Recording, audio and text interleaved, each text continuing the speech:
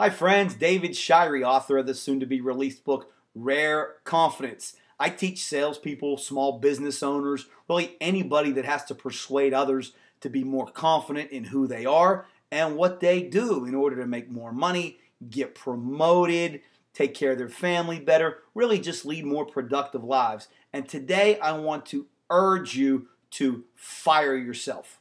That's right, fire yourself today. Here we are last day of the month, and it's the perfect time to fire yourself. You should be firing yourself every month, once a month, on the last day of the month. Now, here's the way this works if you fire yourself every month on the last day of the month, and you tell yourself that tomorrow I have to go back into my boss's office and reapply for my job based on my performance of the last 30 days and I'm going to be up against coworkers and people that are applying from the outside world. Would I be rehired?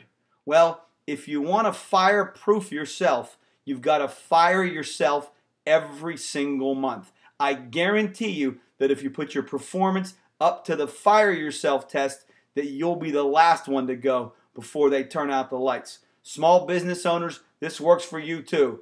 Literally, you can fire yourself or the lack of a paycheck is going to do it for you. So put yourselves up to this test, and I guarantee you that your performance will never reach that level where they'll be thinking about letting you go. Until next time, David Shirey, thanks for stopping by.